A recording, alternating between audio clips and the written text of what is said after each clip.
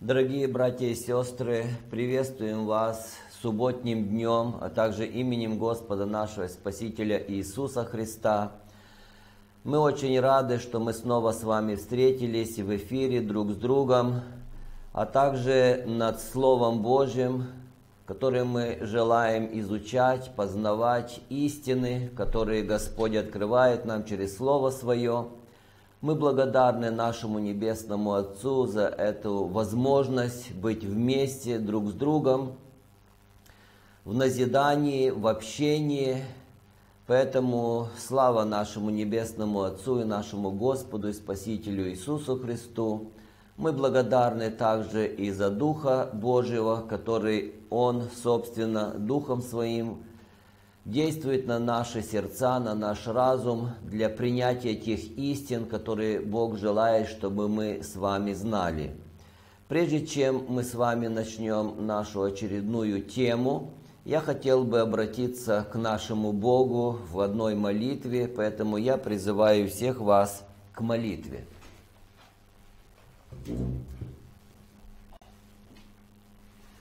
Наш добрый небесный Бог, представший перед Тобою в это субботнее утро, в этот день свидания с Тобой, также друг с другом, мы благодарны Тебе, что мы в числе живых, здоровых, что мы можем славить имя Твое святое, потому что Ты достоин этого.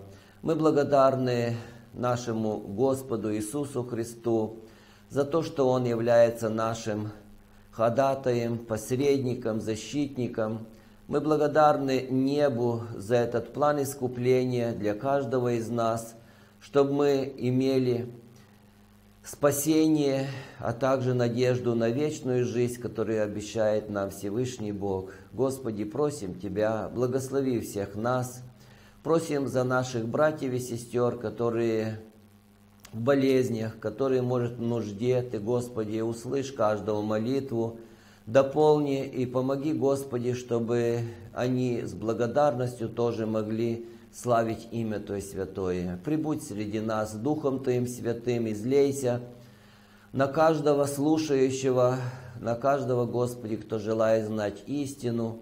Помоги нам познавать Слово Твое, чтобы истина нас сделала свободными во Христе Иисусе Христе. Мы, Господи, просим Тебя, чтобы Ты пребывал с каждым из нас, благословил нас на это служение. Помоги, Господи, чтобы эта тема раскрыла для многих ту важность, которую именно решает судьбу каждого человека в спасении по отношению к нашему Богу, по отношению истин, которые Он предоставляет для нас – все это мы просим во имя Иисуса Христа, услышь молитвы наши. Аминь.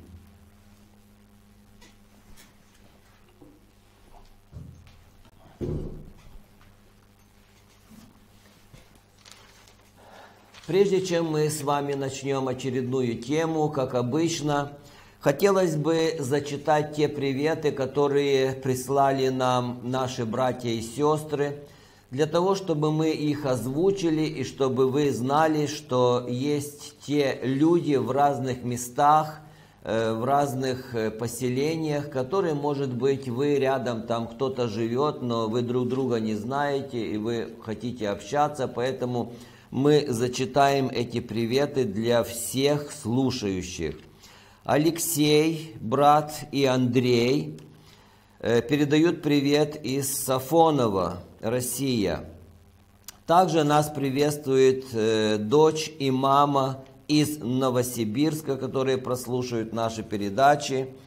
Также сестра Мария и дочь Оксана из Коломыи нас приветствуют, это Украина. Э, Вера из Малынти передает привет, а также еще одна сестричка Вера из Черновцы областные всех нас приветствует. Передают привет брат Евгений, Светлана и Илья из Киева, Украина. Э, Николай Лопатин, а также группа единоверцев из Воронежа передают привет. Брат Михаил, сестра Лидия из штат Вашингтон, США приветствует нас. Передает привет брат Валерий из Риги, Также сестричка наша Нинель Денисова передает привет из Новосибирска. Сестра Оля также передает всем нам привет. И брат Михаил передает всем привет, это из Белоруссии. Вот все приветы, которые на сегодня мы благодарны всем вам, кто передал нам приветы, взаимно приветствуем вас – и рады, что мы имеем с вами такое общение, что вы желаете сообщить о себе, что вы есть тоже наши братья и сестры, которые мы верим в единого Всевышнего Бога Отца и Господа нашего Иисуса Христа, и мы связаны или же в общении в Духе Святом, как писал апостол Павел. Нас объединяет Дух Божий, Дух Святой. Слава Богу!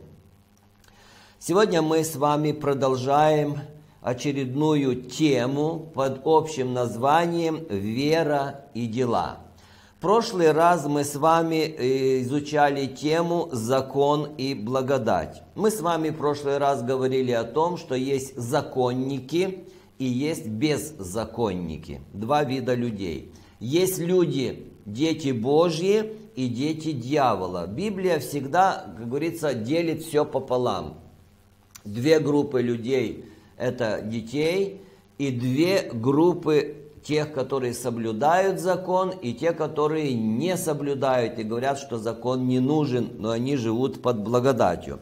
Может быть, это как бы чуть-чуть э, жестко звучит в моем э, как бы пояснении, но так оно и есть, потому что люди всегда говорят, когда мы говорим, что закон Божий надо соблюдать, они говорят, вы книжники фарисеи, вы законники, вы не, не под благодатью, а вот мы под благодатью, мы кто? Мы беззаконники, то есть нам закон не нужен. Ну, так оно звучит, так мы и говорим. Мы сегодня с вами будем продолжать э, тоже по этой теме, но мы уже будем говорить, как бы переходя на веру и дела. Дело в том, что когда говорят люди о том, что они живут под благодатью, то они якобы верою это берут. То есть они верят, что Христос за них все исполнил, что все это как бы верою у них основывается, и они под благодатью, под той милостью, которая проявляет к ним небо. Но также мы будем говорить и о делах. Может ли существовать вера э, без дел? И могут ли дела быть без веры? Мы должны это в целом сравнить. Может ли законник, тот, который соблюдает закон, э, не имея веры, спастись законом? Конечно, нет. И может ли тот, который имеет веру, э, спастись, не имея дела. Тоже нет. Видите, и мы заходим в такой религиозный тупик. То есть, если рассматриваем только одну сторону и, как бы говорит, притягиваем эту одну сторону к своему понятию, то вроде бы оно так, под благодатью, мол, дела здесь неуместны, потому что Писание говорит некоторые тексты, что от дел мы не спасаемся. Но если брать с другой стороны, то другая сторона говорит, что посредством, если нету дел, то и вера наша тщетна. Поэтому мы сегодня с вами будем разбирать эти вопросы. Потому что когда Библию трактуют однобоко, так же, как и по отношению всех других понятий, то, конечно, одна сторона просто в одной стороне, то будет видно вроде бы как нормально, вроде бы как хорошо. Но когда мы смотрим в свете всей Библии, то мы видим, что это очень плохо и плачевно и трагично будет для многих впоследствии. Давайте мы с вами зачитаем э, послание к евреям, первая э, глава, э, первый текст. «Вера же есть осуществление ожидаемого и уверенность в невидимом». Вот что собой представляет вера. Ну как объяснить, вот что такое вера? И здесь мы видим апостол Павел евреям, послание к евреям или же в Иерусалим пишет, что вера есть осуществление ожидаемого, то, что мы с вами ожидаем и во что мы верим. И уверенность в невидимом, то есть мы этого не видим, но мы знаем, и поэтому мы прилагаем вот это внутреннее свое такое, э, можно сказать, действие э, веры, которое подтверждает именно то, во что мы верим. Давайте мы еще обратимся к римлянам 10 глава 17 текст. Итак, вера от слышания, а слышание от Слова Божьего. Поэтому мы с вами, исследуя Священное Писание, мы читаем, мы слышим или же слушаем, кто-то читает, говорит, и поэтому этот текст говорит, что вера от слышания, то, что мы услышали, в том, что мы утвердились, но то, что мы не видели, но мы верим, что оно так и будет. Поэтому вот так мы охарактеризовали на основании Библии э, слово «вера». Давайте мы просто по-простому, по-человеческому еще подумаем, что такое вера. То есть вера – это внутреннее состояние, которое способствует действию и уверенности, что именно так и произойдет, и ни на секунду не сомневаясь в этом. То есть мы как бы рассмотрели в своем таком понятии человеческом. То есть вот эта уверенность, и на, на секунду мы не сомневаемся. Если, например, у нас есть вера и есть сомнение, то Библия говорит о том, что это какая вера? Тщетная. Значит, э, вера, она должна иметь твердый стержень в том э, внутреннем состоянии уверенности в то, что я верю. Давайте мы с вами еще поговорим о делах. Что такое дела? Ну, я думаю, что каждый из вас понимает, что такое дела, но мы еще коснемся. То есть дела – это уверенность в действии, что именно так и произойдет – то есть я своим действием хочу сделать что-то, и я уверен, что так оно и произойдет. То есть вот это дело. Действие, которое достигается посредством приложенных усилий. Поэтому многие говорят о том, что своими силами мы не можем быть спасенными. И это, конечно, правильно, но это одна сторона вот этого понятия. Но когда мы с вами будем дальше изучать, то мы с вами, конечно, все это поймем. Может ли вера э, существовать без дел? Но ну вот мы, например, верим, но мы ничего не делаем. Может ли она существовать и может ли быть какой-то результат? Когда мы читаем Священное Писание, то мы видим, что этого невозможно. Поэтому, когда сегодня многие пастора, которые проповедуют о том, что вы можете лежать на диване, ничего не делать, а просто верить, и вы можете быть спасенными. Это просто современная, как говорится, э, такая ложь, убаюкивающая ложь для духовного э, лентяя, христианина.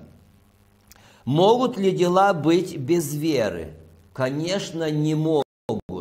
Если у меня не произойдет вера, если я во что-то не поверю, то значит и дела не могут быть. Вот я просто, я не верю чему-то или во что-то или в кого-то. Буду ли я делать какие-то, прилагать усилия, если я не верю? Вот, например, если вам сказали, вот, например, э, ну, такой пример простой. Вот э, грибной сезон. И вам говорят, вот там в том лесу или в той лесопосадке есть очень много грибов.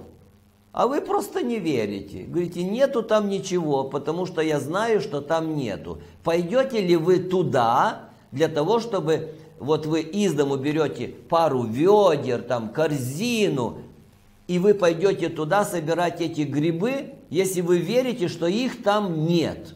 Вы туда просто не пойдете. Но это такой примитивный пример для того, чтобы вы э, поняли, что в жизни бывают такие ситуации разные, когда вы не верите, что там такое может быть, и вы не будете прилагать усилия к тому, чтобы, например, сделать и чтобы подтвердить эту, э, этим делом вот ту веру или же то неверие.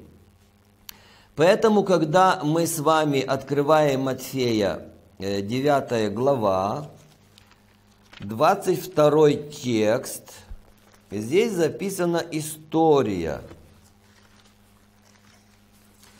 История, которую все вы знаете, но мы прочитаем. Иисус же, обратившись, увидел ее, сказал, «Дерзай, черь, вера твоя спасла тебя, женщина с того часа стала здорова». Итак, мы знаем эту э, историю, о которой э, здесь описана эта история. И когда мы с вами рассматриваем это действие, то, конечно, если мы рассмотрим и скажем, да, у нее была такая сильная вера, и она, проявив эту веру, она исцелилась на основании этой веры. Поэтому, когда мы с вами читаем эти текст, то мы видим, что эта женщина, о которой здесь описано с 20 текста, это женщина, которая страдала 12 лет болезнью. Болезнью, которой болезнь это являлась э, в израильском народе как э, своего рода э, табу по отношению ко всему. Она не должна была быть в обществе, она была нечистая, у нее было кровотечение. А в израильском народе в то время, как кто, например, было вот такое истекало кровью, там все-все тому подобное, ну, мы, вы знаете, Светского Завета, то этот человек, он не должен не прикасаться ни к кому, ни к чему, не быть в обществе, он должен быть изолирован.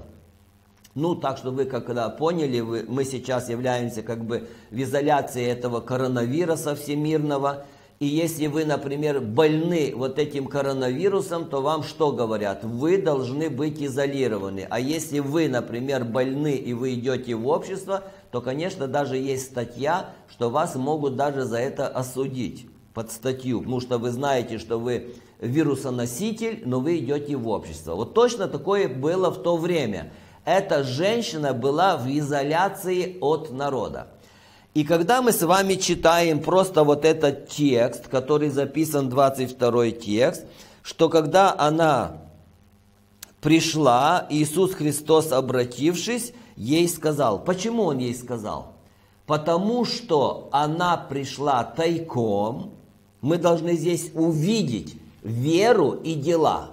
Вера у нее была сильная. Она знала, что Иисус Христос, Он может дать ей исцеление. Поэтому вера ее сподвигла пойти туда. Э, сподвигла пойти туда, то есть пойти против этого течения, понятия, учения об изоляции того времени, потому что она была нечиста. И за это ее могли даже побить камнями в еврейском обществе, то есть предать смерти, потому что она нарушила э, закон Моисея о санитар, санитарный закон. Поэтому, когда она пошла, и когда она подумала, и когда она это сделала, и она притронулась к краю одежды Иисуса, мы дальше знаем о том, что Иисус почувствовал, что сила иссякла из него. То есть энергия, которой наполнял э, Отец Небесный своего Сына вот этой силой свыше, эта сила иссякла, передавшись тому, что вот она, вот это посредством этой силы, исходящей от Иисуса Христа, она получила исцеление. И он, обернувшись, сказал – дерзай, тщерь, да? Вера твоя спасла тебя. И женщина с того часа стала здорова. Теперь давайте мы с вами будем э, обдумывать э, две стороны. Не просто, что вот видите, она поверила, и это и сделалось. Но помимо всего мы должны видеть две стороны – вера и дела. Она поверила первоначально, она задумала, она поняла, что она должна пойти к Иисусу, и если она, будучи в изоляции как нечистая, то есть женщина, которой ей запрещено быть в обществе, но она пошла тайком для того, чтобы не как бы при массовом таком обзоре сказать, что вот я хочу исцелиться, потому что у меня вот такая-такая проблема. Но она тайком пошла и подумала, если я только притронусь, то я получу исцеление. Значит, мы видим, она проявила веру, и Иисус подтвердил, что вера это содействовало ее исцелению. Но помимо веры, мы видим, что она приложила действие, то есть она пошла вопреки всего.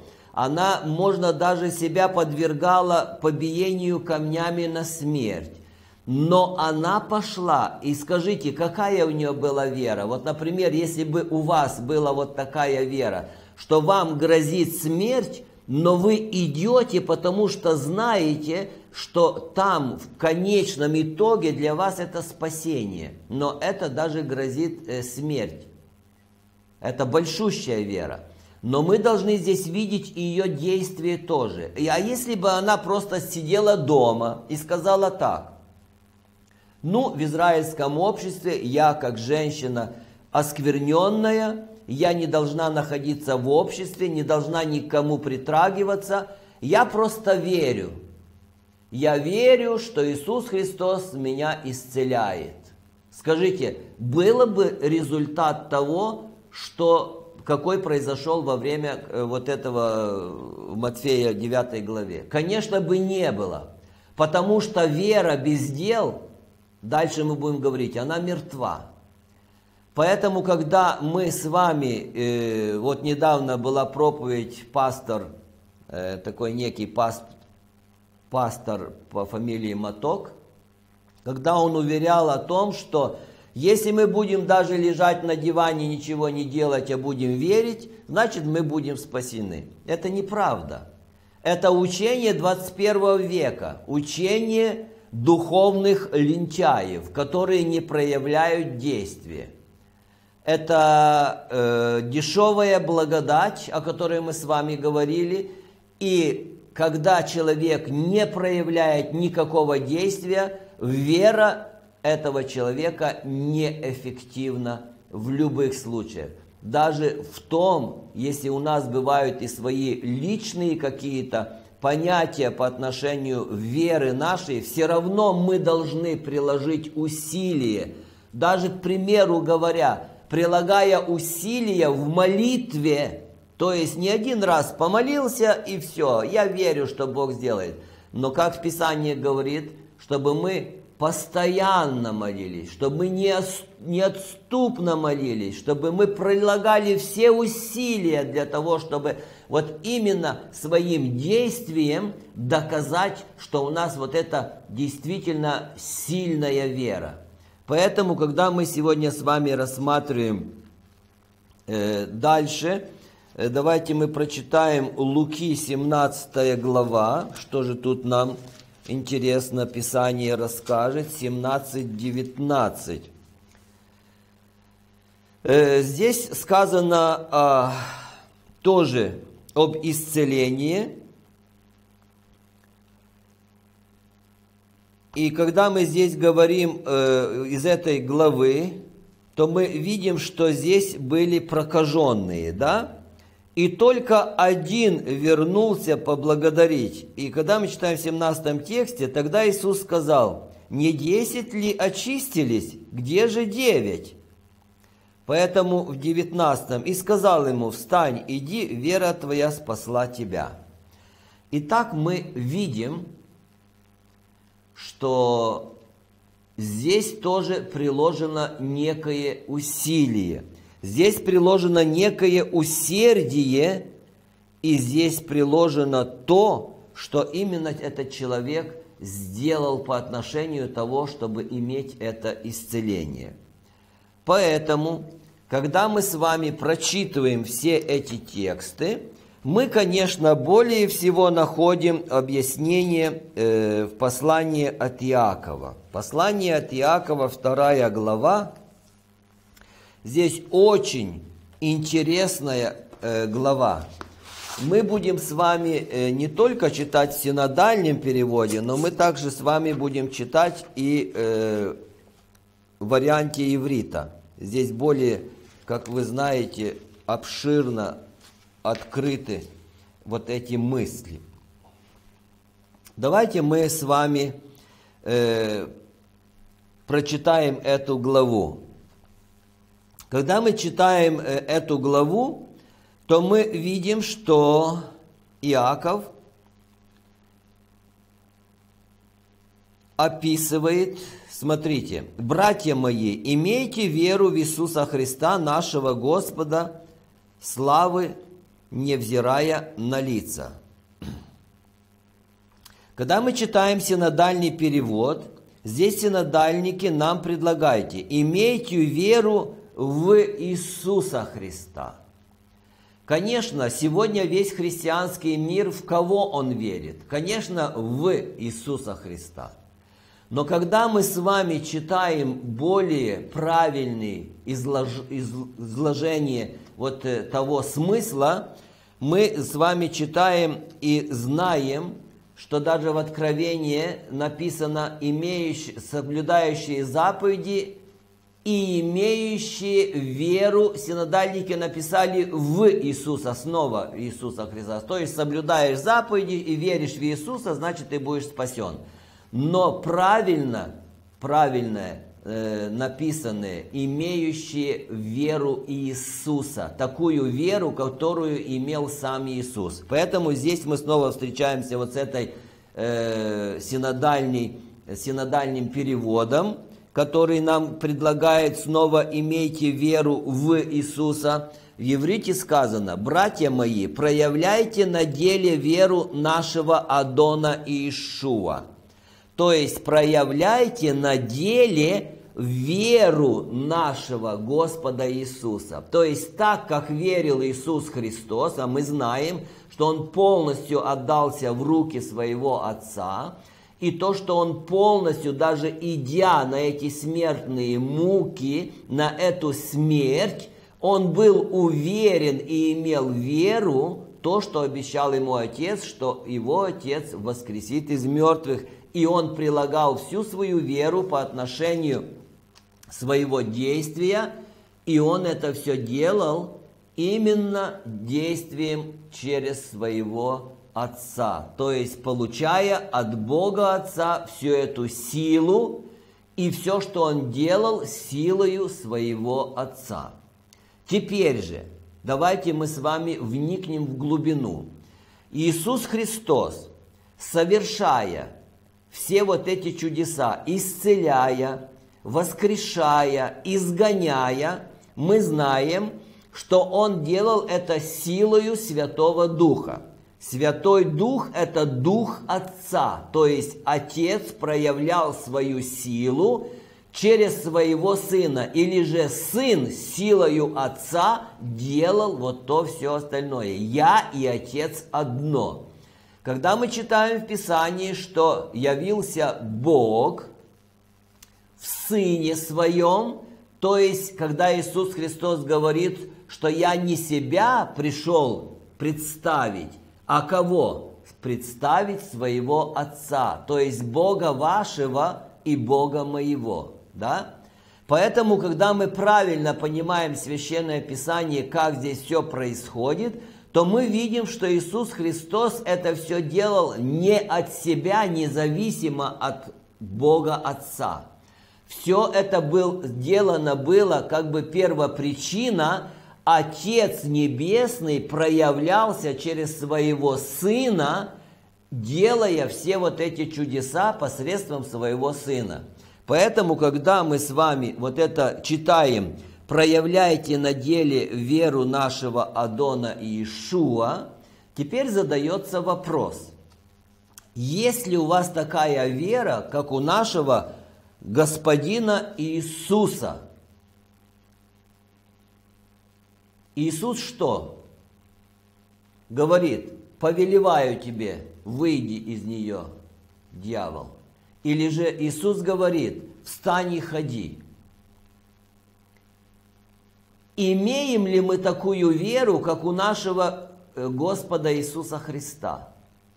Например, были ли у вас такие случаи, когда вы смотрите на человека, который нуждается в исцелении, и вы являетесь христианином и знаете, что сказано в Писании, если будете иметь веру в горчичное зерно, то скажете, сей горе сдвинься, она сдвинется.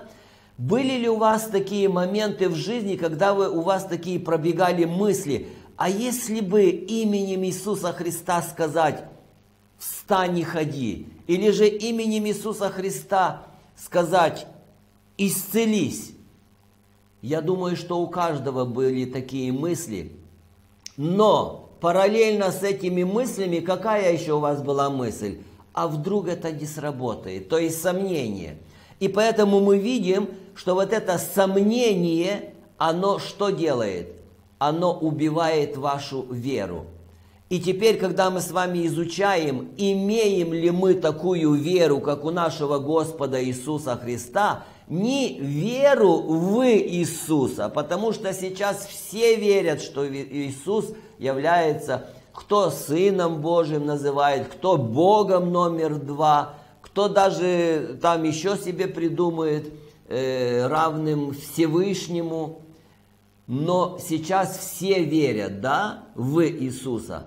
Но Писание говорит, имеете ли вы веру, как у Иисуса, которую Он имел? Вот это правильное понятие. Иисус имел очень большую веру, и Он полностью доверился Отцу Небесному, поэтому у него все так и получалось, потому что Бог, Отец, работал через него посредством его веры, были осуществлены и те дела, и то действие, которое мы с вами читаем, записано в Священном Писании.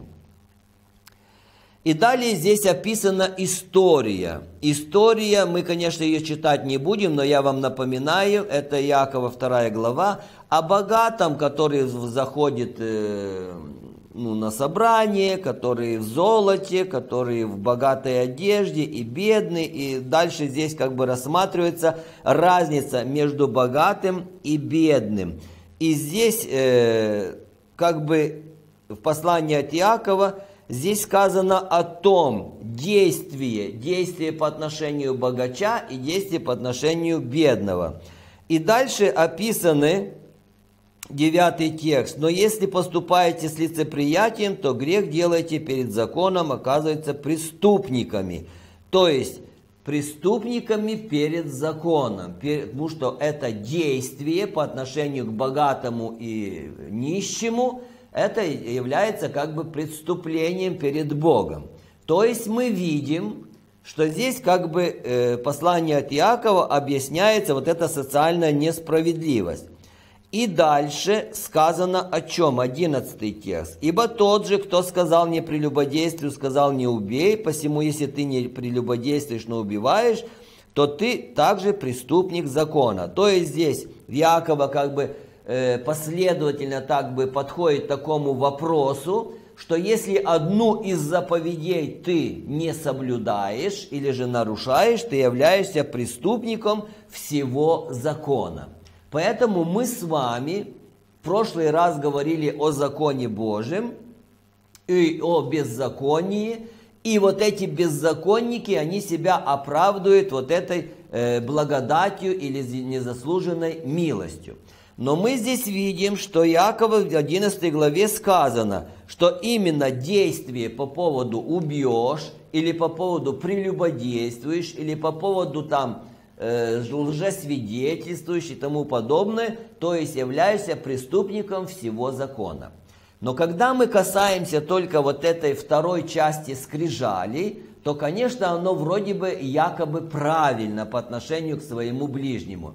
Но когда мы касаемся первой скрижали, по отношению к нашему Богу, то, конечно, мы видим, что человек или же тот беззаконник, который себя считает, что он является под благодатью, под милостью, и что за него уже Иисус Христос все исполнил, а ему только надо поверить в то, что Иисус ему дает незаслуженную милость и благодать, который он будет спасен. Это является самообманом.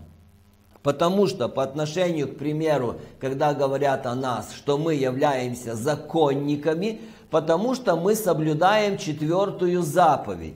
А четвертая заповедь от нас требует поклонения в именно назначенный, определенный, отделенный и освященный Богом день, это день седьмой недели, шаббат или же покоя, день седьмой покоя, который сегодня называется суббота. Поэтому, когда мы рассматриваем все это в, в десяти заповедях, то здесь приводится пример именно по отношению здесь социального неравноправия, то есть здесь, как бы образно говорят, в этом нашем человеческом общении друг с другом, чтобы нам было больше понятно.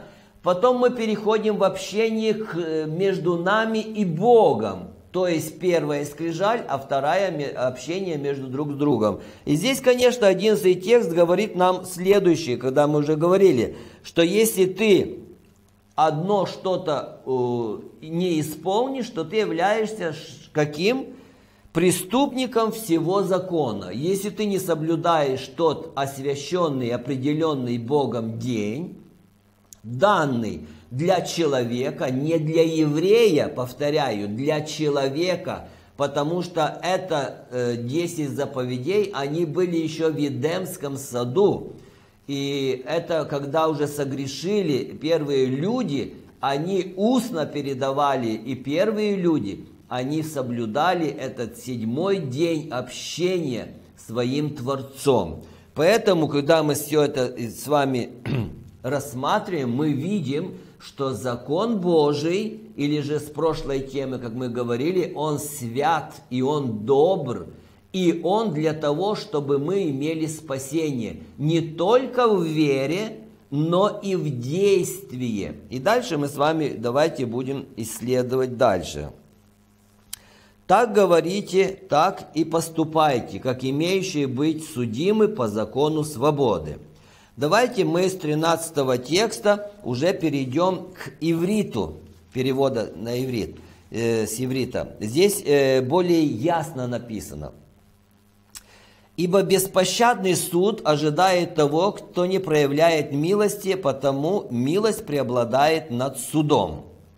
Когда мы говорим э, с 13 текста, что суд Божий или суд человеческий, к примеру говоря, что он э, не проявляет милости, то есть закон осуждает человека. То есть заповеди, этих 10 заповедей, они меня осуждают тогда, когда я что? Не соблюдаю. Если я одну из заповедей не соблюл, например, я украл, я убил, то о чем это говорит? Что я преступник, да?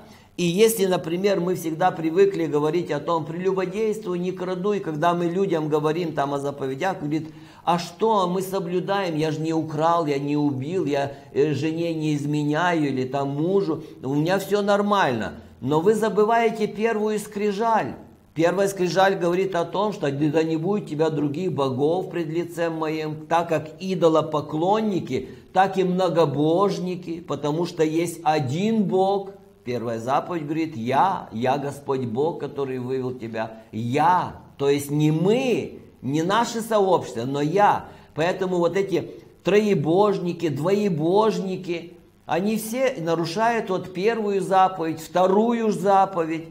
Также мы э, понимаем о том, что четвертая заповедь для, для тех беззаконников, которые говорят о том, что Иисус Христос пригвоздил закон, о котором мы в прошлой теме говорили, что был пригвожден церемониальный закон, но не моральный. И так мы видим, что как Священное Писание сегодня людьми извращается, каждый подгоняет под себя, понимаете, каждый подгоняет, как ему удобно.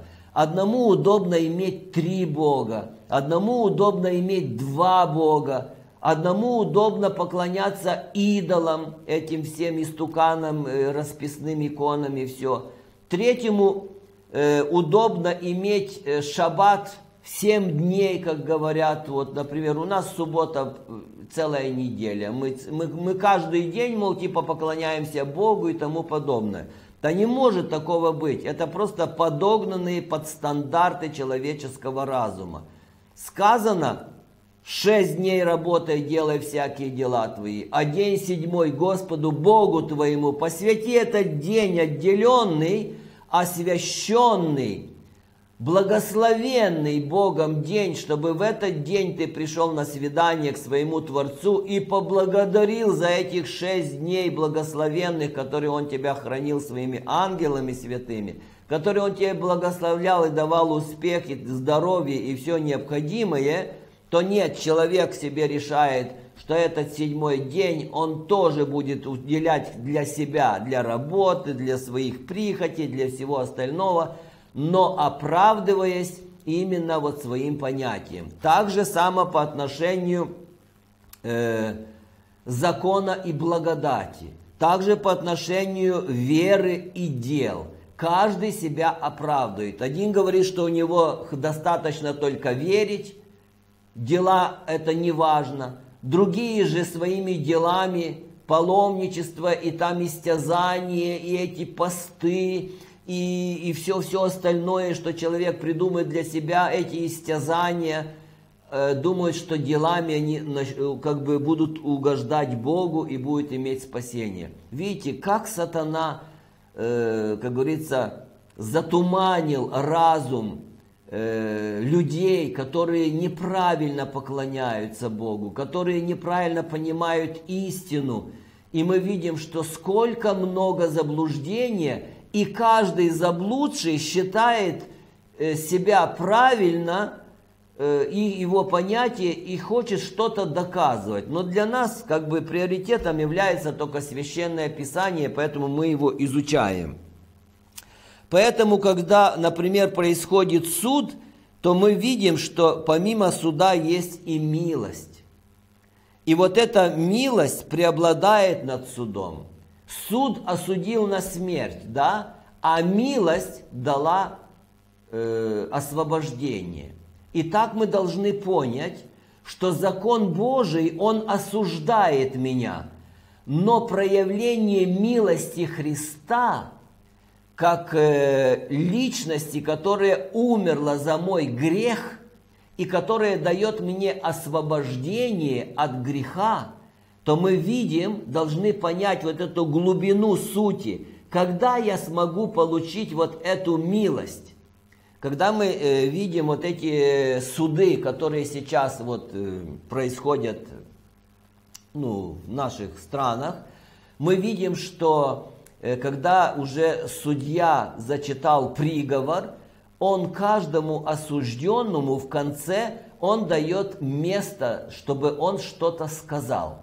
Есть такие люди, которые действительно, они совершили, ну там, такое, как бы сказать, преступление, и они раскаиваются, и они в этом своем последнем слове, они просят прощения, они даже плачут, они раскаиваются, они сожалеют, но суд все-таки их приговорил, э, то есть вердикт этого судьи, вот он будет исполнен. Но видим, мы видим, что человек кается – и это, как бы сказать, э, на общество дает какое-то позитивное понятие, что да, он даже если преступник, но он осознал свое э, вот неправильное действие и он покаялся. Но есть такие э, убийцы, такие преступники, которые, когда им дают последнее слово, они не хотят ничего высказать, или же высказывают ту же самую злость, то есть не видя в них никакого покаяния и раскаяния. Почему я привел этот пример? Пример к тому, если мы в нашей христианской жизни, например, закон Божий, он осуждает грешника. Запомните, если вы грешник, этот закон вас осуждает. Но помимо этого осуждения, как в 13 тексте написано «беспощадный суд», то мы видим, что далее проявляется милость. И милость это во Христе Иисусе, которое проявляется на основании чего? На основании того, этого последнего слова после вердикта этого закона. Закон Божий, эти заповеди, если я нарушил, то написано что? За грех смерть. И вот это последнее слово, это моя молитва. Если я согрешил, я становлюсь на колени перед моим Господом и Спасителем и перед моим Богом, Отцом, и я прошу прощения в покаянии за содеянный грех, зная, что у меня есть вот этот адвокат-посредник, что он берет свои, мои грехи на себя, и он проявляет эту милость. И когда мы говорим именно вот об этом процессе покаяния, здесь учитывается именно вот это данное мне последнее слово. То есть, как мы, чтобы мы имели представление э, с тем судом предыдущим, что я объяснял. И вот этот, э, как бы данная мне вот эта возможность, она решает дальнейшее мое или же прощение, или же осуждение. Когда мы с вами говорим об этом, мы не можем не упомянуть даже тех, которые отвергают небесное святилище. Есть многие даже из адвентизма, те, которые вышли, и то, те, которые и есть в этом адвентизме, но у них свои, как говорится, логические мышления, они говорят о том, что отвергают учение о небесном святилище, что его там типа нету. Ну, мы не будем об этом говорить, вы знаете многие эту историю. Но что я хочу сказать? Это тоже ряд лиц, которые не имеют надежды на прощение именно в своих этих понятиях. Почему? Если вы отвергаете сейчас то, что происходит с 1844 года, то есть небесное святилище, и что этот начался суд, и что наш Господь Иисус Христос является посредником, и является между человеком и Богом, Отцом, Судьей, то значит у вас нету такого шанса. Если вы согрешили, значит вы за грех смерть. Кто вас, например, э, освобождает от того греха, который вы сегодня или завтра или вчера сделали, если нету небесного святилища и если нету там посредника нашего Господа Иисуса Христа. Видите, как Священное Писание и как правильное учение, оно само себя подтверждает, и оно имеет, то есть оно несет за собой э, реальность, правильную мысль во всех отношениях. Если, конечно, брать вот это учение, то, что они сегодня распространяют о том, что нет небесного святилища, и то, что они своим человеческим таким приземистым разумом говорят, а как это может быть? А как это может быть? Что вот Иисус Христос, вот там, как обычно рассказывает, да, ну, как э, Ильен Вайт там описывает, образно говоря, я уже говорил, это образно говоря для нашего трехпроцентного разума, если даже он есть уже в 21 веке, я думаю, что уже только 2% у многих, потому что деградация идет, как говорится, как год, так и деградация все ниже. И она описывает о том, что переходы святое, святое, святых, и образно описывает, что колесница, ну там в таком понятии, чтобы как-то, ну такая картина у нас сложилась.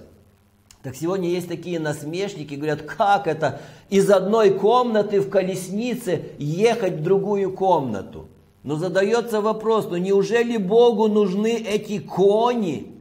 Неужели Богу нужна эта колесница, чтобы на этих конях ехать? Это что, какой-то батрак из средневековья, там какой-то э, сельскохозяйстве, который имеет лошадей и на этой повозке едет там с одного села в другое?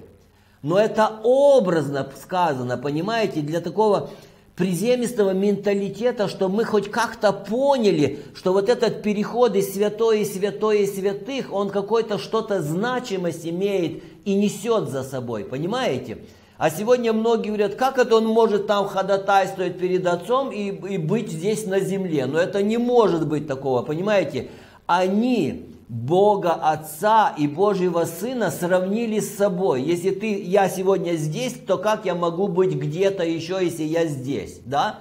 Но если мы сегодня видим по этой технологии, что я здесь, но я вместе с вами, я с вами разговариваю, вы меня слышите, и вы меня видите, да, но в таком смысле, то есть у нас какое-то должно быть современное соображение по отношению всего, а вот это учение, которое дьявол распространяет для того, чтобы человека обезоружить, чтобы ему не дать шанс на прощение – когда мы вот это все читаем, то мы видим, что над каждым текстом сколько много мы можем сказать информации, да, а у нас еще сколько остается текстов. Если мы глубоко проникаем, и Бог дает нам посредством своего духа вот этот разум мышления, который мы, вот это духовное видение по каждому вопросу.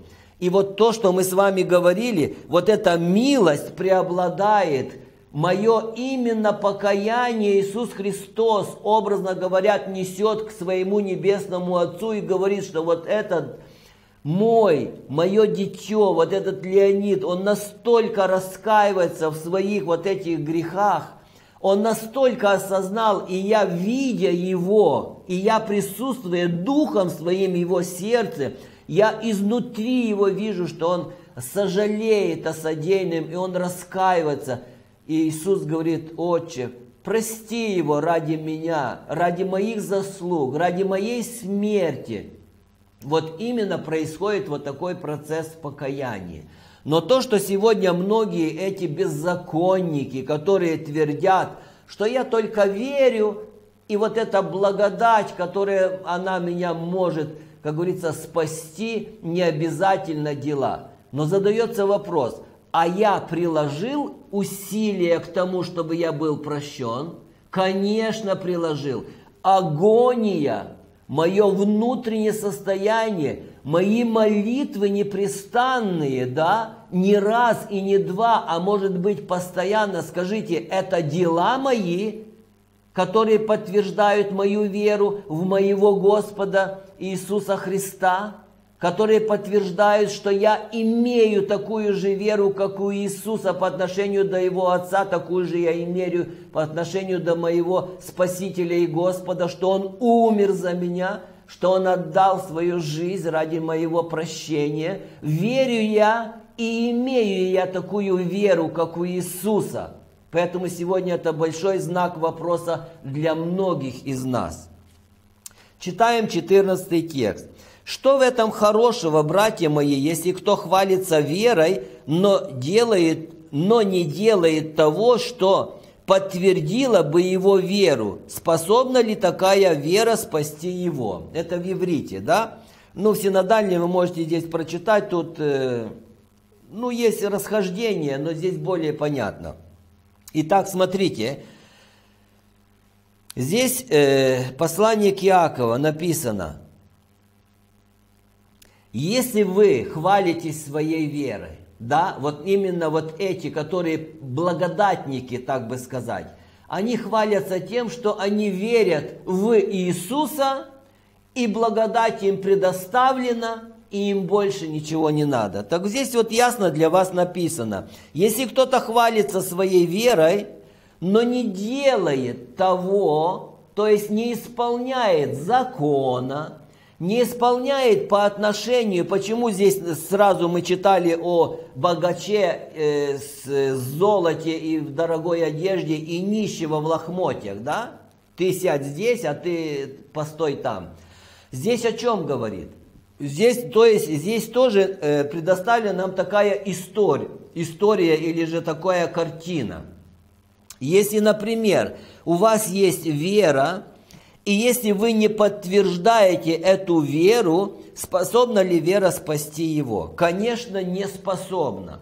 Как бы ты не верил, если у тебя нет отношения второй скрижали к ближнему, кто бы он ни был, бомж, э, в лохмотьях, ты должен к нему относиться как к личности, равной тому напыщенному в золоте, в дорогих одеждах. Сядь рядом с ним. Пусть он даже пахнет не так, но ты сиди рядом. Если ты напыщенный такой богач, если ты не хочешь, так ты проявишь свое действие по отношению небрежности к этому э, ближнему. Но тот хозяин, к которому пришли все, и ты берешь что? Напыщенного, богача в золоте, в одежде, садись здесь, впереди. А пришел там такой нищий, бедный, замученный, может быть и грязный, а ты сиди там с краю, не мешай нам здесь. Может, даже и запах от тебя не, не такой. Понимаете в чем? Библия сравнивает человека с человеком. Если хочешь, помоги и поддержи этого, который он для тебя, как бы сказать, такого второсортником. И сделай его равным себе и равным всем присутствующим. Потому что я хочу сказать, что в христианстве тоже преобладает такое, понимаете? Когда особенности на свадьбах, бывают такие случаи, которые я наблюдал. Если это приехали проповедники, если приехали там такие, знаете, пастора и тому подобное, их здесь на виду поближе, возле жениха и невесты, отдельный стол, отдельное обслуживание, отдельное внимание – а если там пришли кто-то такие, знаете, престарелые, там такие нищие, не слишком богатые, они где-то там в углу, там они, как говорится, сюда, э, как говорится, как что только с, с кухни новое блюдо, сразу сюда. Ну, конечно, пони, понятно, что стол невесты и жениха и там дружбы, это понятно, это их свадьба. Но помимо этого всего, в первую очередь этим значи, знатным – а когда уже дойдут до следующего того, что там уже на краю сидит, там при входе, то бывало такое, что даже и не хватало тех блюд, потому что они раздали здесь, и здесь блюда одни на одном, а там реже, реже, реже, а там попалось или не попалось, это уже такое. Я лично такое наблюдал. Да, это есть истина. И этого не должно быть. Если вы хотите быть угодными перед Богом, и если эти напыщенные хотят сидеть, чтобы на них все созерцали, то начинайте разносить блюда оттуда с входа, от тех нищих, немощных, тех, знаете, а что останется, то дадите этим напыщенным. Вот это будет более правильно. Поэтому, когда мы читаем дальше тексты, то мы видим, что здесь Иакова написано, чтобы мы не хвалились верой, а чтобы мы Э, подтвердили нашу веру. И если вы являетесь законопослушниками, и если вторая скрижаль написана «возлюби ближнего, как самого себя», то так и делай. И если первая скрижаль написана, или же высказывание, что «возлюби Господа Бога всем сердцем и разумением, и всем твоим естеством», то так и поступай. Читаем дальше. Допустим, у какого-либо брата или сестры нет одежды и дневного питания. И кто-нибудь скажет им, шалом, береги себя, одевайся теплее, питайся получше, но при этом не даст того, о чем они нуждаются, поступает ли он хорошо. Конечно, мы видим здесь продолжение мысли, сравнения между людьми. Итак, дальше переходим к 17 тексту. Итак, вера, которая не сопровождается делами, мертва.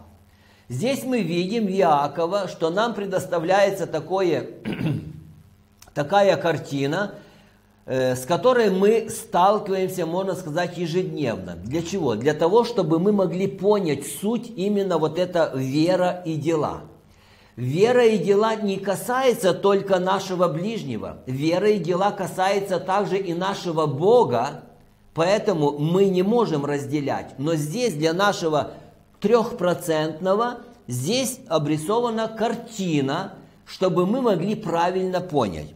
Поэтому 17 текст говорит о чем? Что если вера, которая не имеет дел, она мертвая.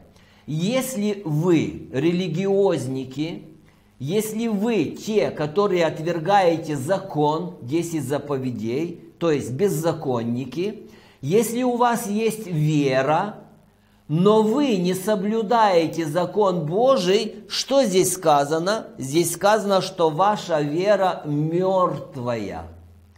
Чтобы любить Бога, надо соблюдать Его заповеди. Чтобы любить ближнего, надо учесть и помочь ему, как здесь сказано, если он нищий, если он нуждается, вот синодальный перевод, он э, так интересно написан, сейчас я прочитаю. Э, если брат и сестра наги не имеют дневного пропитания, кто-нибудь из вас скажет, идите с миром, грейтесь и питайтесь, но не даст им потребного для тела, что пользы? 16 текст, да? И так мы видим. Ну, здесь так перевод, а здесь так. И тот, и тот, можно сказать, что соответствует. Да, здесь как бы более с таким, что он что-то хочет, да, чтобы ты помог. А ты говорит, иди с миром себе, грейся себе, кушай себе и тому подобное. Как э, бывает многие такие молитвы, да, вот я слыхал, когда христиане молятся, но они вроде бы, ну, хотят этого добра и говорят, что Господи, накорми всех голодных, а сосед или там кто-то, который нуждается в этой еде. Но, как говорится, у этого христианина полный стол есть еды. Говорит, я благодарю тебя, Господи, за такие благословения, но накорми еще всех голодных. Так возьми своего стола и иди к этой бабушке или к тому бомжу, можно даже сказать, который даже ведет аморальный образ жизни – но ты дай ему кусок хлеба, вот это будет правильно. А то, что ты помолишься, то есть ты помолился, но дело не сделал. И что это? Это мертвая молитва. Если ты скажешь, Господи, благодарю Тебя за эту пищу, которую даешь мне, и помоги мне, или направь меня, чтобы я поделился с нуждающимся, тоже в хлебе насущным – дай мне такую возможность, чтобы ты через меня помог этому человеку. Да, это понятно, это была бы молитва актуальная и правильная. А то, что мы говорим, э, накорми всех, так же, как здесь там в синодальном написано, идите с миром себе, грейтесь и питайтесь. Читаем дальше. Так мы с вами поняли, что вера без дел, она мертвая. Но кто скажет, что у тебя вера, а у меня дела, покажи мне свою веру без дел, а я покажу свою веру делами. Итак, вот этот текст для тех беззаконников, которые я их так называю, может это, как говорится, и грубо звучит, но это четкое определение. Это определение, которое должно звучать в ушах их, не давая их совести спокойствия. То есть беззаконники, те, которые отвергают закон Божий 10 заповедей, я их называю беззаконниками. У них нет закона, у них есть только благодать. И вера непонятно в кого и во что.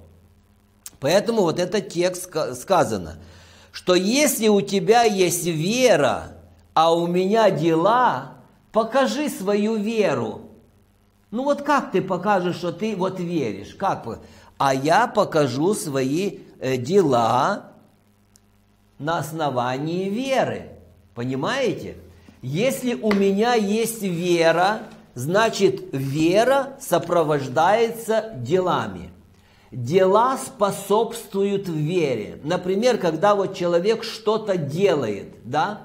Как можно определить христианина, что он порядочный и нормальный христианин. Вы будете смотреть на него и скажете, о, у него такая вера, я вижу сквозь него. Его наполняет полностью вот этот, как говорится, его организм, одна вера. Или вы будете смотреть, что делает этот христианин. Этот христианин и накормил голодного, и одел там нагого, и сироту поддержал, и вдову, да, и все вот это он все сделал.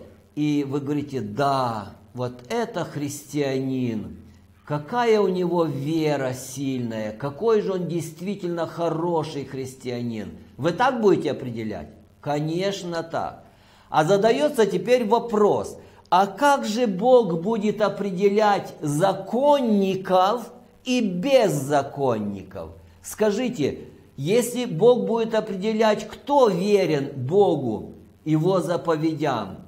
Те законники, которые соблюдают с первой по десятую заповедь, и он скажет, да, хороший ты мой, мое дитя, войди в радость Отца Небесного. А беззаконник, как тебя определит э, Бог? Что он будет смотреть, какая у тебя вера? Ты верою что делал? Ну что ты делал? С чем ты подтвердил своей верой? Ну ты имеешь веру, ну тебе веришь. Но как мы читали в предыдущем тексте, что вера без дел мертвая. Значит, ты просто предстал перед Богом мертвец, который имеет мертвую веру. И больше ничего.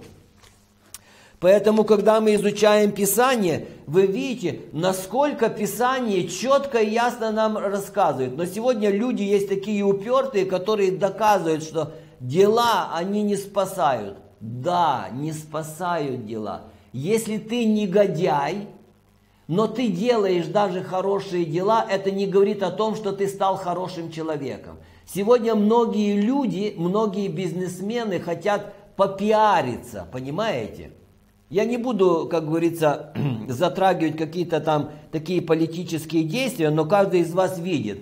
Для того, чтобы пропиариться, для того, чтобы потом впоследствии люди массово пошли за этого негодяя, который, когда его выберут, он будет обкрадывать этих людей, то он сегодня что делает? Он сегодня делает акции, акции милосердия, он раздает, он дает, он все. И мы знаем, да, и крупу, и гречку, и сахар, и все раздавали. А народу что говорили? Народ, вам раздают за ваши деньги, которые от вас потом сдерут, как говорится, с третьей шкурой. Так оно и есть. Так теперь задается вопрос. Нам дело не в политике, это их дело, это этот мир на этом живет и на этом стоит. Мы, чтобы с вами поняли. Если этот человек негодяй, и если он даже раздавал эту крупу, и если он даже что-то там раздавал и медикаменты, и оборудование в больницу покупал и тому подобное для того, чтобы пропиариться, для того, чтобы свое действие впоследствии сделать, э, как говорится, злостным по отношению этого же общества, которое он, как бы говорится, купил. Так он же не стал хороший. Он это делал то есть дела не соответствуют, поэтому делами человек не спасается перед Богом. Если я, например, какое-то ничтожество, которое не являюсь истинным христианином, но я просто хочу показать себя, что вот я вот такой христианин, на самом деле я не христианин, я начинаю помогать, раздавать, я проявляю любезность, да, а фасад мой – это совсем противоположный. Скажите, я смогу быть спасенный на основании того, что я делал? Конечно, нет. Когда мы читаем с вами э, Священное Писание, мы видим, что если тот, который имеет веру, а не имеет дел, то, конечно, он не сможет свою показать веру, потому что вера показывается только делами. Когда мы говорили с вами об этой женщине, которая страдала 12 лет, она показала свою веру в чем? Делами, своим действием. Она пошла против системы. Она пошла даже, э, как бы сказать, э, э, на риск того, что ее могут даже убить, и она не получила бы никакого исцеления, ее бы убили, если бы они это все узнали. Понимаете? То есть она проявила какое-то действие, то есть у нее были дела? Конечно, были. У нее была вера, а вера содействовала к чему? Она верила, что я буду исцеленная. И вера содействовала к чему? Ее делам. Она начала действовать. Поэтому мы видим, что здесь так и сказано, что здесь покажи мне свою веру без дел, а я покажу свою веру делами. Вот эта женщина показала свою веру делами. И Иисус Христос что ей сказал? Дерзай, щерь, вера твоя спасла тебя. Не дела твои, то, что ты прибежала и коснулась, а вера твоя спасла, потому что вера содействовала этим делам. Э, делам, которые она совершила, прийти и прикоснуться вопреки всего. Поэтому мы видим, что вера и дела, как мы в э, прошлый раз говорили, да, закон и благодать, это как две ноги. Помните, я говорил, что на одной ноге это прыгающий инвалид. Вот точно так же в этом, в дальнейшем нашем изучении, вера и дела – это те же две ноги. Если вы будете прыгать на одной вере, вы будете духовным инвалидом. Если вы будете прыгать на одной ноге дела, вы тот же самый инвалид, только тот инвалид левой э, ноги, а тот инвалид правой ноги. Понимаете?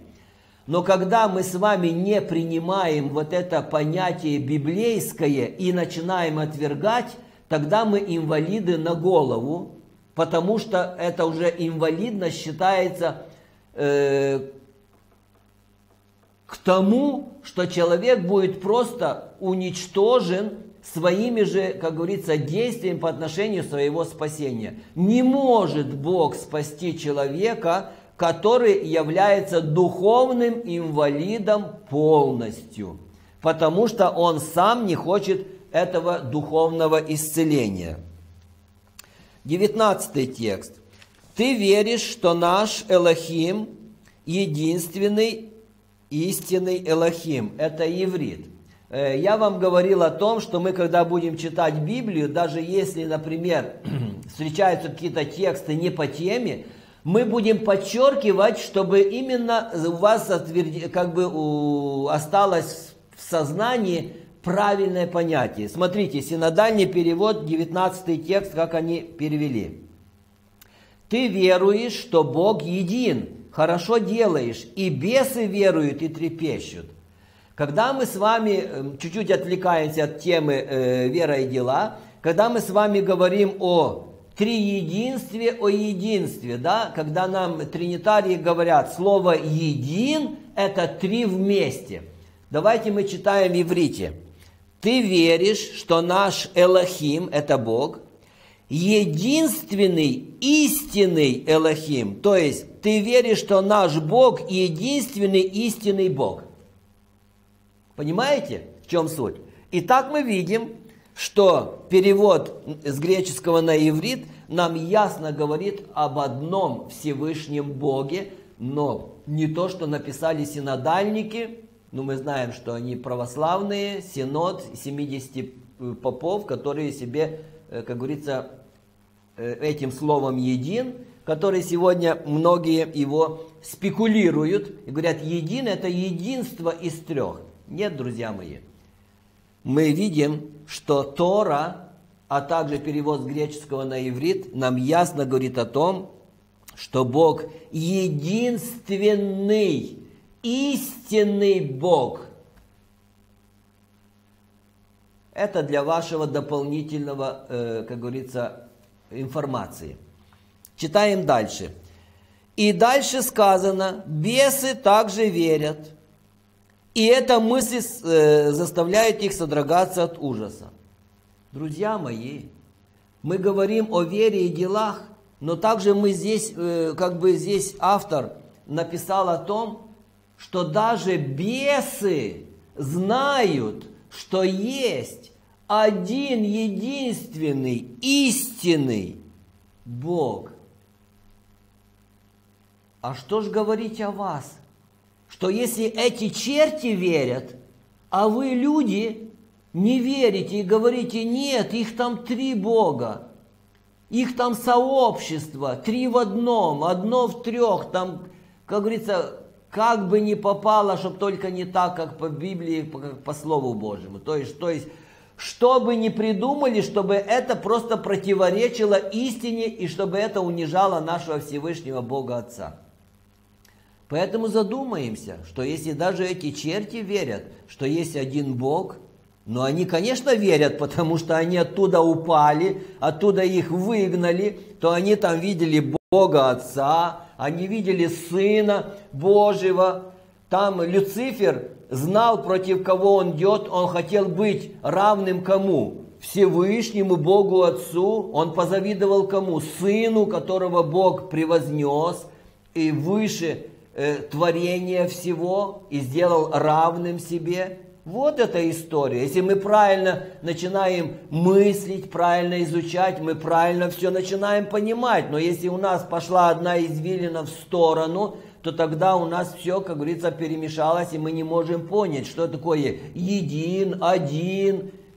что даже бесы веруют непонятно что. Интересно, а бесы веруют в Троицу или в Двоицу? Вот хочу, хочу задать вопрос вот тем, которые э, отстаивают. Бесы в Троицу верят, а также по отношению тех, которые говорят, что есть два Бога. Что, в Двоицу верят? Или бесы веруют то, что мы с вами читаем, что есть один единственный истинный Бог, который поистине все сделал, который поистине, вот этот план спасения был сделан, и этот план спасения был сделан между отцом и сыном, так что, извините, третьего там не было, и об этом говорит и дух пророчества. Книга «История спасения» – это для адвентизма и этих двух сестер. Там именно так и сказано. Теперь задается вопрос, друзья мои, мы четко понимаем, если мы адвентистское движение, мы четко понимаем тех баптистов, пятидесятников, э, харизматов, которые э, у них трактуется вера и дела. У них все по благодати, по вере. И мы со стороны на них смотрим и думаем, ну как они не понимают, что закон Божий, мы же законники, да? Мы же понимаем, что надо здесь и заповеди исполнять, все. А они вот не понимают. И мы думаем, ну как им недоступно, ну как они не понимают, какие же они впоследствии будут э, ну, люди, которые потеряют вечную жизнь, которые они отвергают закон Божий, которые они э, являются беззаконниками, которые они не соблюдают закона. А написано, что всякие, которые не соблюдают закон, беззаконники – Э, Бог их не спасет, потому что они нарушители Божьего закона. И мы удивляемся, как им не доходит. Вот точно так же сегодня удивляемся по отношению тех, которые э, о них же думают, как вам не доходит, как вам не доходит то, что сверить, например, с греческим, с ивритом, э, поднять этот тонах, да, Э, то, что является первозданным, можно сказать, потому что мы знаем, что христианство вышло из иудаизма, все-таки мы вышли из э, монотеистической э, как бы вероисповедания. Израиль верил в одного Всевышнего Бога, и он ожидал Мессию, обещанного Избавителя, тогда задается вопрос, как же так случилось, что вот это мессианство, или же от слова мессия, помазанник – Э, вот это христианство на греческом, вышло э, понятие того, что многобожники стали. Неужели вы об этом не можете подумать? Неужели вы не можете сравнить? Тогда задается вопрос, а чего же вам удивляться по отношению тех деноминаций, которые им недоступно это понятие по поводу благодати, по поводу э, закона, по поводу дел, по поводу веры? Вот тот же самый синдром, который у них, такой же самый у вас по отношению другого лжеучения. Поэтому мы видим, что здесь записано в 20 тексте. Продолжаем. «Неужели, глупый человек, тебе нужно показывать, что подобная вера без дел бесплодна?» Синодальный перевод. «Но хочешь ли знать, неосновательный человек, что вера без дел мертва?» Ну, тут в синодальнике более смягчили, неосновательный, то есть основы нету. А в иврите сказано, что просто глупый, глупый, знаете, а там можно сказать через э, черточку, дальше есть вот эти определения слова глупый, что он собой представляет.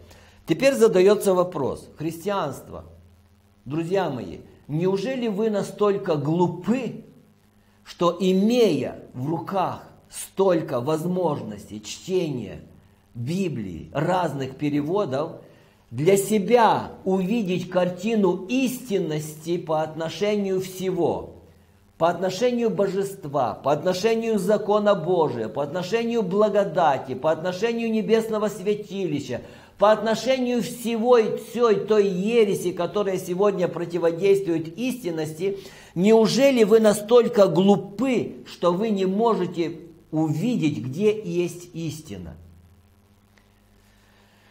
И далее мы читаем. Здесь идет сравнение.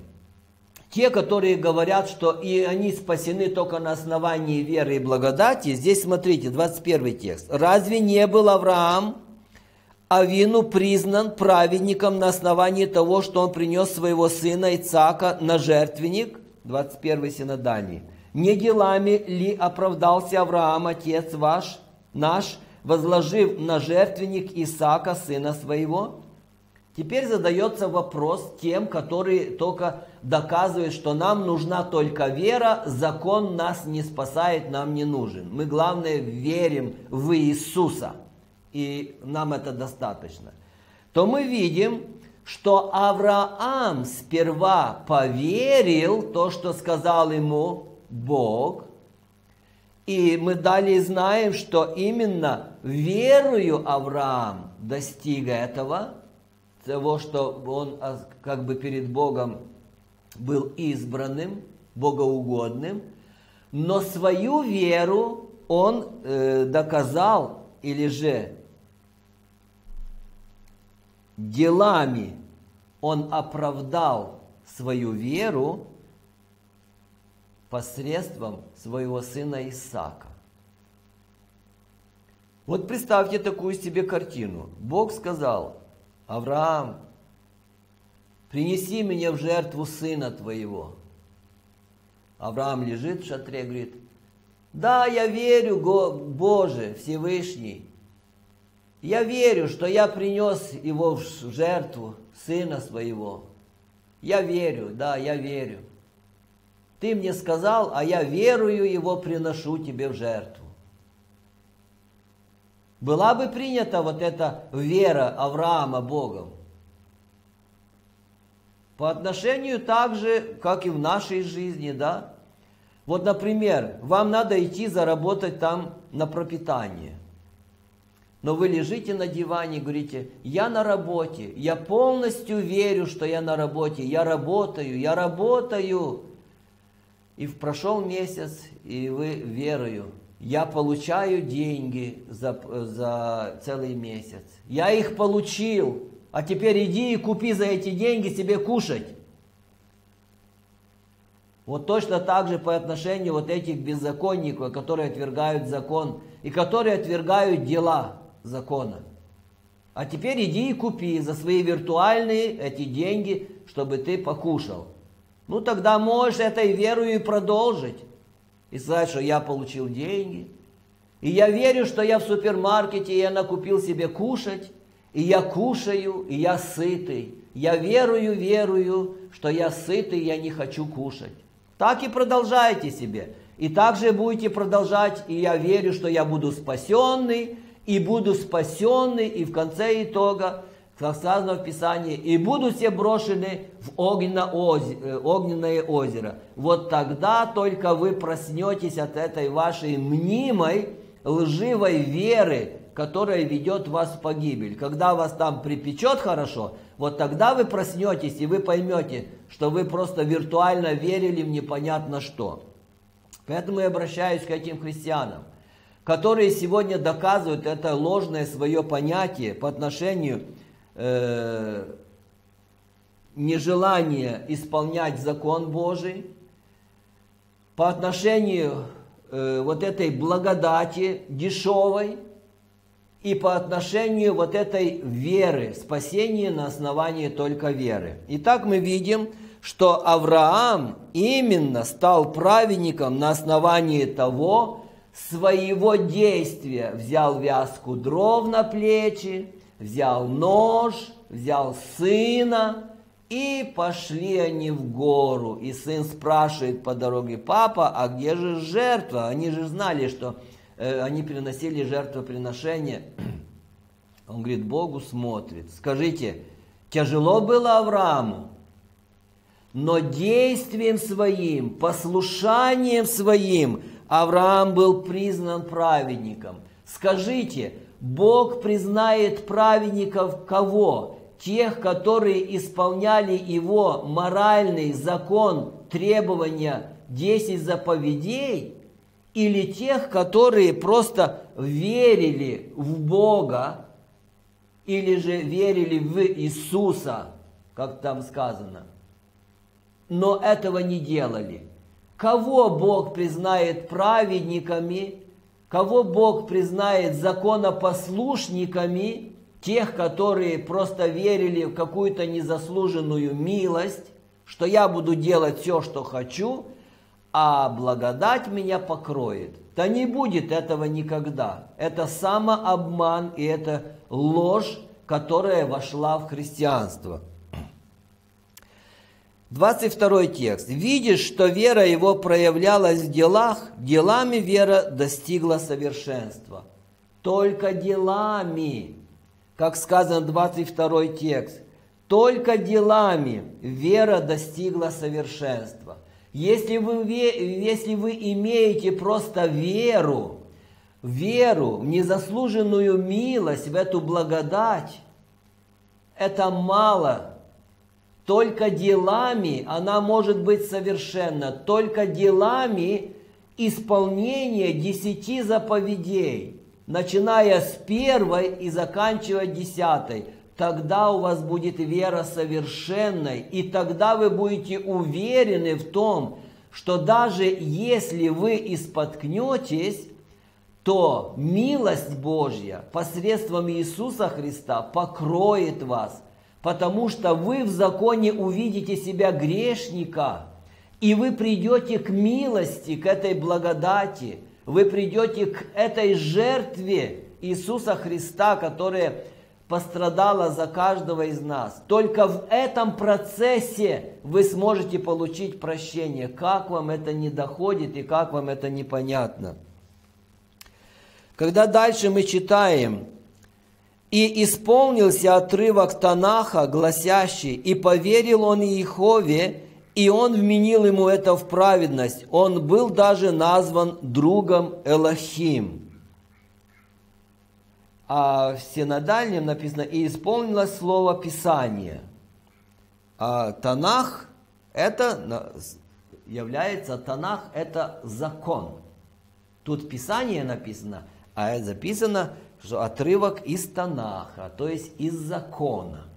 Поэтому мы видим, что здесь более четко сказано, что именно вот закон Божий, написано «Бог есть Бог порядка». У Бога есть свои законы. И эти законы, как исполняет Вселенная, все творение, также и человек должен подчиниться вот этому порядку или же закону, изданному, который издал Творец. Поэтому все те, которые противятся э, закону Божьему, они являются беззаконниками. А сказано в Писаннике, беззаконнику путь коротка, беззаконнику озеро огненное. Беззаконники, они не войдут на новую землю, в новую эру существования искупленного народа, потому что они будут противиться закону Божьему, потому что даже искупленный народ на новой земле, он будет иметь законы вечные, и эти законы вечные, они в Конституции неба, и эта Конституция неба записана, исход 20 глава, это 10 заповедей, которые вечные и неизменные. Поэтому читаем дальше.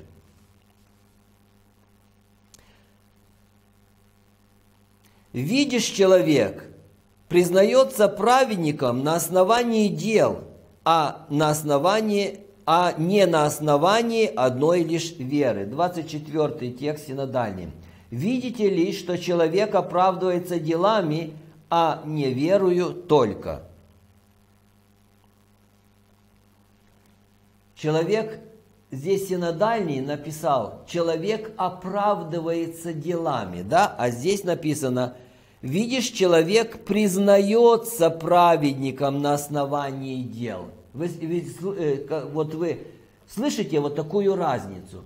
Синодальный режет немного уши, что типа оправдываешься делами, то есть, что человек оправдывается делами. Ну, Боже, как тот э, фарисей, да? Ну, я же даю десятины, ну, я же это, я пощусь, я молюсь, также и в это. Ну, Боже, ну что ты? Ну, я хожу на собрание, ну, я там участвую, я помогаю, я все делаю. Ну, ну я же дела хорошие делаю, да?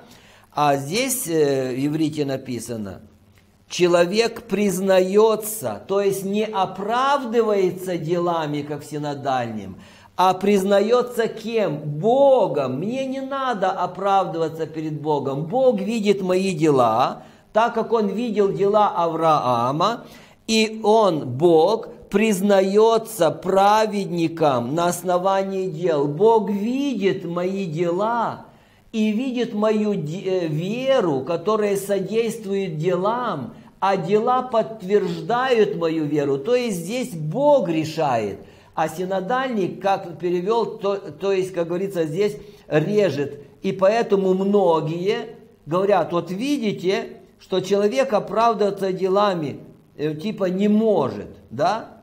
И не только верою. Поэтому, когда мы с вами здесь читаем, и когда вот эти переводы все здесь, э, как говорится, напереводили, нам э, иногда становится просто непонятно. И поэтому многие начинают выдумывать свои версии, и то, что мы видим, то, что они понавыдумывали. Читаем дальше. Подобно тому, не было ли, э, ли и Рахав, блудница, признана праведницей благодаря своему поступку, когда она приняла у себя посланников и вывела их другой дорогой. То есть мы видим, Раав, да, она сделала вот этот поступок. Чем она сделала? Верою или делами? Конечно, делами. И вот эти дела ей послужили тому, что она и ее родственники остались живых. То есть делами.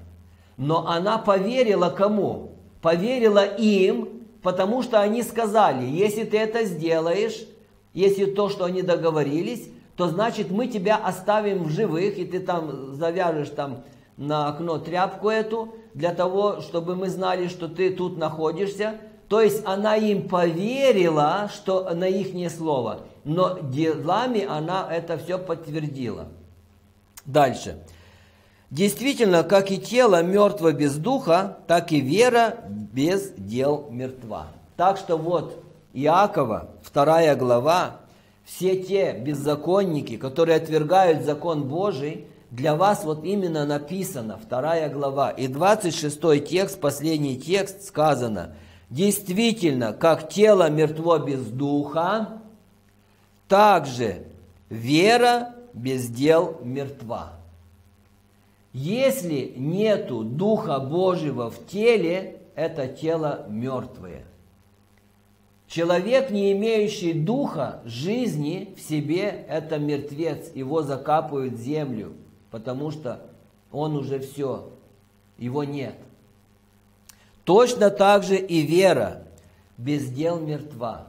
Если вы, э, как говорится, хвалитесь своей верой, если вы верите, что к вам будет проявлена благодать, и то, что вы говорите, что делами никто не спасается, и что не обязательно соблюдать заповеди, но почему-то заповеди по отношению только, э, если мы берем из протестантских понятий, четвертую заповедь.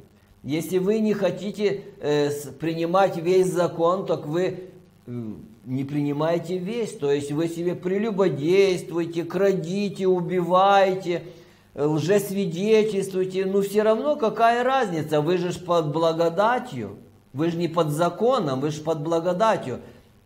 А вы начинаете выкручивать уже. А Иисус сказал в Новом Завете, потому что 10 заповедей это евреям дано, а Иисус там э, перечисляет типа, но Иисус в Новом Завете не нарушал и субботы, хотя вы ищете те нарушения, которые являются, что он исцелил, типа как книжники и фарисеи его обвиняли своим фанатичным таким э, церковным э, понятием того, той догмы, э, что они понапридумывали. И вы, как говорится, выкроили оттуда, отсюда, слепили себе такую версию. Все, значит так, прелюбодействовать, воровать и тому подобное – это грех, а вот суббота – это уже не грех. Мы не под законом, мы под благодатью. Друзья мои, если вы полностью под благодатью, тогда для вас полностью закон не существует. Делайте все, что вам хочется. Тогда вы будете истинными беззаконниками. Понимаете?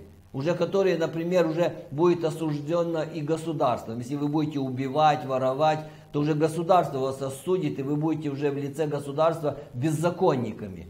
Но если вы хотите выкроить себе вот такую версию для того, чтобы себя оправдать, вам тоже этого не получится, потому что на основании Библии вы те же беззаконники, которые будут осуждены законом Божьим. Потому что каждый человек перед судом Божьим пройдет под десятью заповедями. И вот эти десять заповедей, они меня или же осудят, или же меня оправдают. То есть сказано о том, что человек, в котором живет Дух Божий, он свободный от закона. В каком смысле? Я, например, не переживаю о том, что я сегодня нарушаю четвертую заповедь, потому что я законопослушный, я соблюдаю этот, э, эту заповедь, да? Я не, я не переживаю там, что я прелюбодействую или что-то делаю, потому что я этого не делаю. Я свободен от закона, понимаете? И я смотрю на этот закон, на 10 заповедей, как просто, как в зеркало, и вижу, что я чистый, у меня нету здесь какой-то грязи, там, сажи или чего такого. Я чистый, я, все нормально, да? Но когда вы смотрите, беззаконники, на этот закон, вы боитесь посмотреть в это зеркало, духовные, потому что вы видите четвертая заповедь, вторая заповедь, первая заповедь, седьмая заповедь, и оно что? Вас осуждает.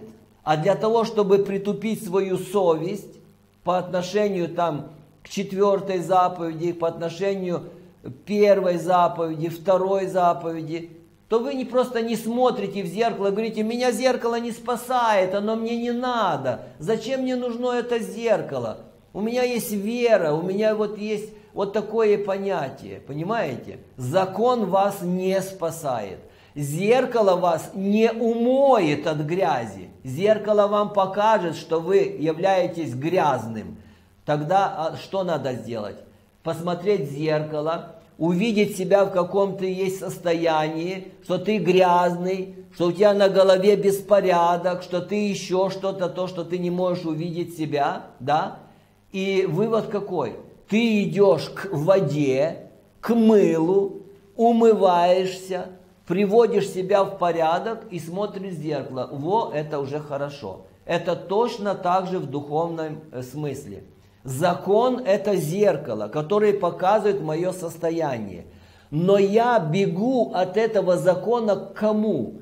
Бегу к Иисусу, потому что кровью Иисуса Христа омывается всякий грех. И я в покаянии, я в раскаянии, я принимаю эту благодать, которую вы говорите о благодати. Вот когда эта благодать принимается – когда я от закона бегу к этой благодати, когда я каюсь, и когда я обещаю не грешить, и когда я поверю в то, что Иисус Христос за меня пострадал и взял на себя грехи мои, и я прихожу к Иисусу, Иисус меня омывает своей кровью, образно говоря, и я прихожу обратно к этому закону, к этому зеркалу, и я вижу, что я чистый и омытый, я прощенный. Вот это есть истина библейская. Поэтому, друзья мои, все те, которые меня слушают, и те, которые э, задавали вопросы, и те, которые у вас есть такие понятия по поводу вот этой незаслуженной милости, этой благодати, я думаю, что вы прослушали эти две темы, и для вас понятно стало, что мы люди, если мы хотим быть истинными детьми Божьими, мы должны слушаться своего Отца Небесного, своего Создателя, потому что у него есть свой закон, и этот закон он дал человеку. Этот закон не был дан евреям только, понимаете? Если этот закон только дан был евреям, то только евреи спасутся, а куда же вы пойдете? Понимаете? Но мы видим, что Бог не делит ни на евреев, ни на другие национальности. У Бога есть Его творение. У Бога есть человек. У Бога есть дети Божьи, законопослушные дети. А также есть другие дети, эти блудные сыны, дети сей тьмы, Бога века сего, которые не хотят этого закона, которые не хотят слушаться, которые они хотят жить так, как им хочется – но они себя утешают, что они имеют священное писание, и они из этого священного писания себе выработали вот такие правила, которые ихнюю совесть как бы э, притупляют, ихняя совесть как бы не осуждает их, и они просто себе верят, что они будут тоже детьми Божьими. Вы глубоко ошибаетесь, потому что все те, которые не будут послушны воле Божией, они являются противниками. Поэтому вы должны сделать сегодня для себя выбор. Или вы становитесь детьми Божьими, или вы приходите к этой благодати, и то, что вы согрешали до сего времени, вы должны раскаяться и Господи, спасибо Тебе, что Ты открыл нам эту истину. До сих пор мы согрешали, мы поступали неправильно и с четвертой заповеди, и первой, и второй, и остальными, может, у кого есть. Но от сегодняшнего дня я хочу омыться Твоей причистой кровью.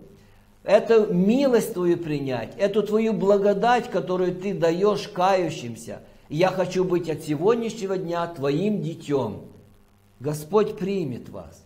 Поэтому, друзья мои, я благодарен вам, что я провел с вами это время, что Бог нам посредством Слова Божия, истины, открыл нам такие значимые для нашего времени э, истины для каждого из нас. Это, это равносильно тому, как мы э, поклоняемся Богу. Это равносильно, как мы чтим Бога. Это послушание наше действительно, оно будет решать большую роль в нашем спасении. Поэтому пусть добрый Бог благословит вас, чтобы мы были законопослушными – чтобы мы не путали церемониальные законы с законом вечным моральным.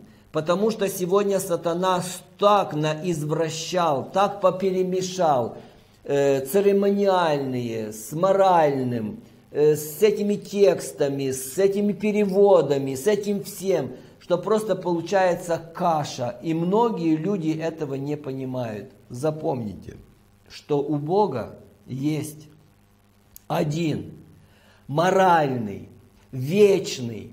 Это конституция неба.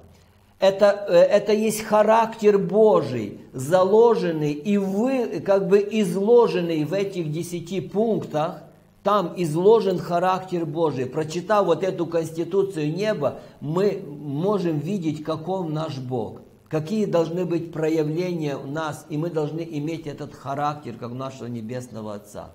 Поэтому пусть добрый Бог поможет нам, чтобы мы были законопослушными, и когда придет наш Господь Иисус Христос, за детьми Бога Всевышнего, чтобы было сказано нам слова «Войдите в радость Господина моего, народ послушный, дети Божьи, потому что многие придут, и Иисус скажет, я вас не знаю, отойдите от меня, делающие беззаконие.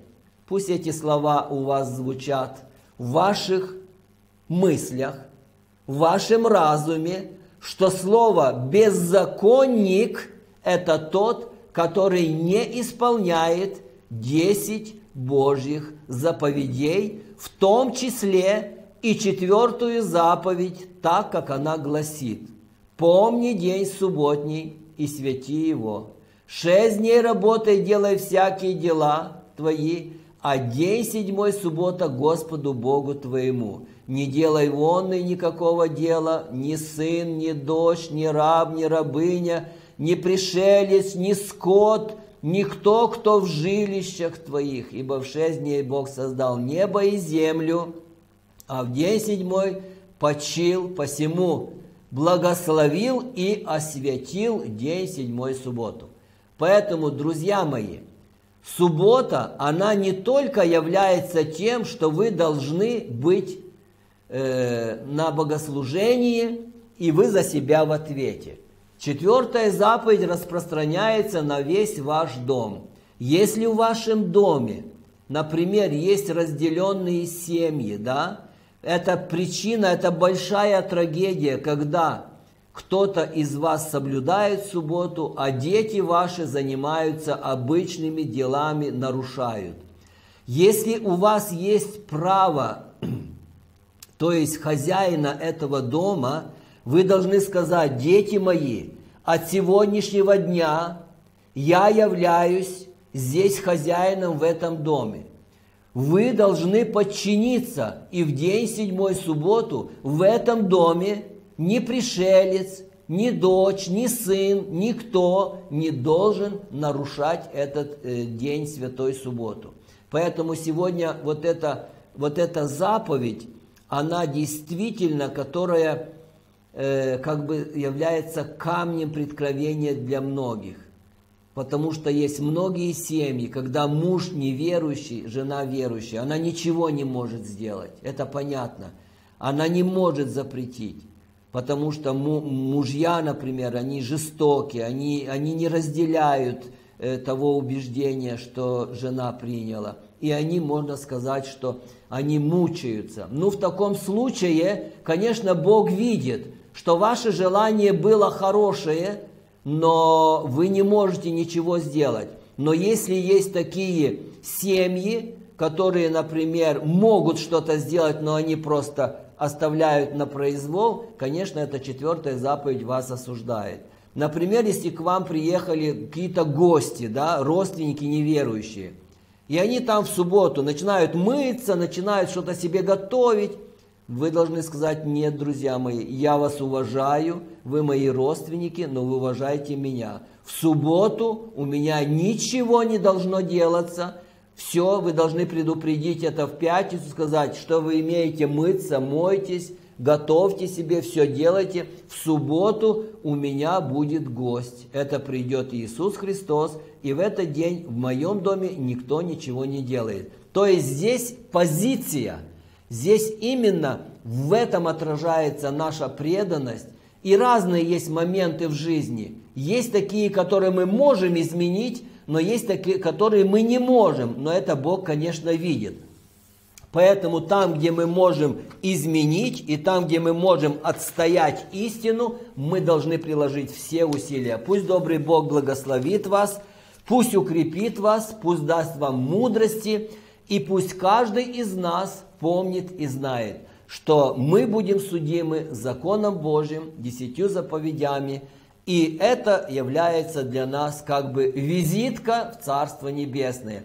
Но только делами мы не спасаемся. Мы спасаемся верою и делами. Вера содействует делам, дела подтверждают нашу веру. Пусть добрый Бог благословит вас. До встречи в 18 часов вечера, на которых всех вас я жду и желаю с вами вновь встретиться. thank you